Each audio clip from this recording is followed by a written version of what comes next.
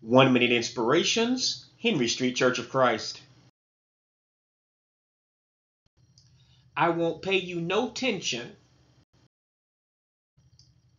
Hear me when I call, O God of my righteousness. You have relieved me in my distress. Have mercy on me and hear my prayer. How long, O you sons of men, will you turn my glory to shame?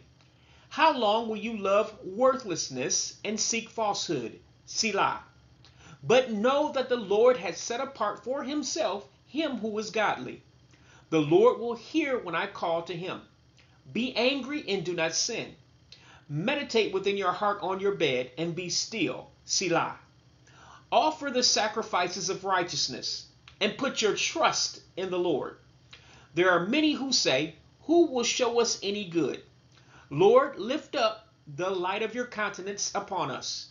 You have put gladness in my heart, more than in the season that their grain and wine increased.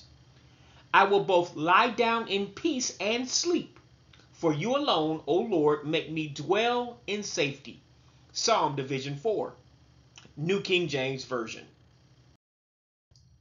Life and the actors within it can cause tension that we do not have to accept or retain. Stress comes from many in this world through their lies and schemes against us. However, as we know from the psalmist, God places joy in our hearts.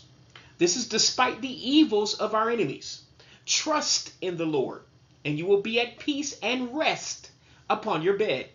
If you don't, then stress will overtake you, and that ought not be so. God bless you. Thanks for listening.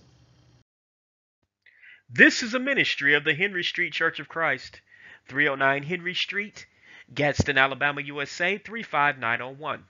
www.henrystreetchurchofchrist.com. Please subscribe to our channel. God bless you.